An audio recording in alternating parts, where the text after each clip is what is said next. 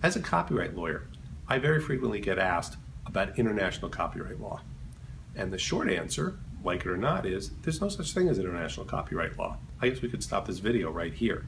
But in reality, that's not the whole story. The story goes on. Copyright law exists in almost every country in the world. And most every country is a member of something called the Berne Convention, which is an international treaty that was first signed back in 1880. Yeah, 1880, that's 135 years ago.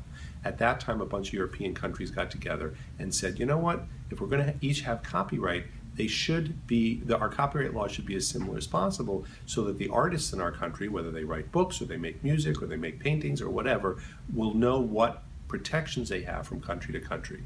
A pretty good idea. However, not everybody has exactly the same details. And the United States joined it in 1988, yes, 108 years later. The United States was the last major country to join the Berne Convention. What the Berne Convention does is it sets uh, a set of minimum rules that demand that in order for the copyright protection to be carried from country to country, that, there, that, that certain rules be complied with.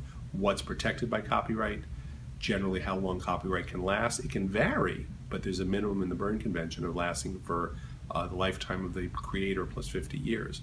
There are also other kinds of variations that go from country to country, but on the whole, the law is similar enough from country to country that once you get copyright protection in your home country, you're going to get more or less the same kind of protection around the world. It's not international copyright law, but it's a lot like it.